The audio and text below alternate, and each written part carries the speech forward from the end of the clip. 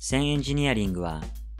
2009年国際カーエレクトロニクス技術展において紫外線洗浄排出実験装置 PL16110 を展示紹介しました。この装置は単波長紫外線による固体の表面の回出、ドライ洗浄の効果を試験するための実験機です。光源には高照 110W の合成石英ガラス製の 160mm 角の面光源を採用しており、資料を載せる特製ラボジャッキを使って光源までの高さ距離を自由に調節ができます。また、前面は片開きの扉で間口は広く、資料の出し入れが簡単で、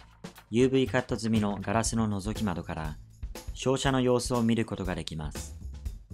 使用しているランプがよく皆さんがご存知の接着剤を固めたり印刷インクを固めたりの高圧紫外線とは違いましてかなり波長の短いピークが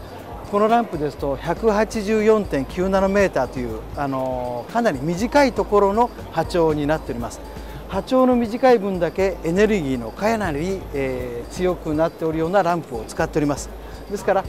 一般的な材質に対してほぼ60秒程度の照射で皆さんがご要望されるような例えば接着剤との密着強度塗料との密着強度コーティング剤との密着強度を持ち上げることができます。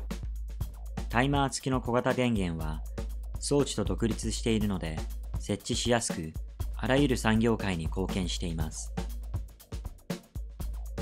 最も大きな分野で実はディスプレイ業界さんが一番多いです、はい、例えば液晶ガラスの表面 EL ガラスの表面またはプラズマディスプレイの表面。実は